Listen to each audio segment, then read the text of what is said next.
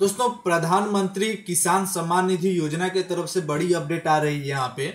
ये बताया जा रहा है अभी से आपको जो भी है, जो छह हज़ार जो आपको छह हज़ार रुपया मिलता था प्रधानमंत्री सम्मान निधि योजना के तहत, वो आपको दस हज़ार रुपया मिलेगा। तो क्या है कारी जैसे कि यहाँ पे देख सकते हैं, एक ट्विटर हैंडल पर बीजेपी के ट्विटर हैंडल पर इस तरह का कुछ पोस्ट किया गया था। ये जो है तीस तारीख को तो इस तरह से कुछ पोस्ट किया गया था। यहाँ पे आप पूरा देख सकते हैं इसको।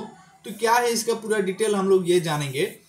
तो इसको हम लोग अगर हिंदी में देखना चाहें तो यहाँ से देख सकते हैं, मैंने यहाँ पे इसको लिख कर यहाँ पे सेम टू सेम यहाँ पे देखा है। इसमें हिंदी में बोला गया है कि मोदी जी किसान के कल्याण के लिए काम कर रहे हैं और पीएम किसान सम्मान निधि योजना के तहत किसानों को छः हज़ार रुपया प्रदान करते हैं। छः हज़ार रुपया तो आप लोगों को पहले से आता था और उसी के बाद यहाँ पे बताया गया, यदि पुरप्पा जी इस योजना में चार हज़ार रुपये जोड़े और प्रत्येक किसानों को उन बैंक, किसानों को उनके बैंक खाते में कुल दस हज़ार रुपये प्रदान किए। मतलब कि येदियुरप्पा ये जो हैं कर्नाटका के हैं, जो आपके मुख्यमंत्री हैं कर्नाटक के को आपको कर्नाटक के स्टेट का जो भी है, वहाँ पे किसान, जो भी हमारे किसान भाई लोग हैं, उनको ही सिर्फ़ यहाँ पे मिलेगा और अदर स्टेट में कहीं भी नहीं मिलेगा।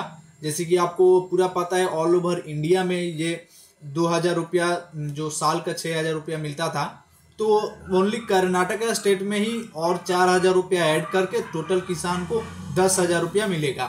तो यही दोस्तों जानकारी था।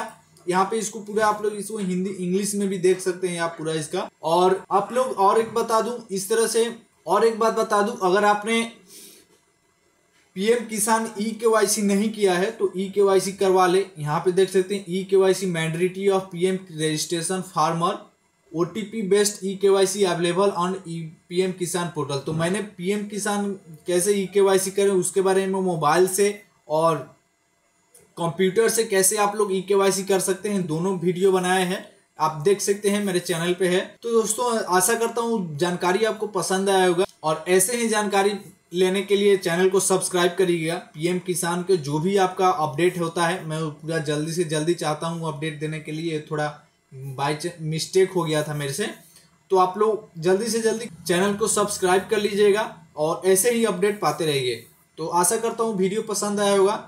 पसंद आया होगा तो चैनल को सब्सक्राइब करिएगा, दोस्तों के साथ शेयर कीजिएगा। Thank you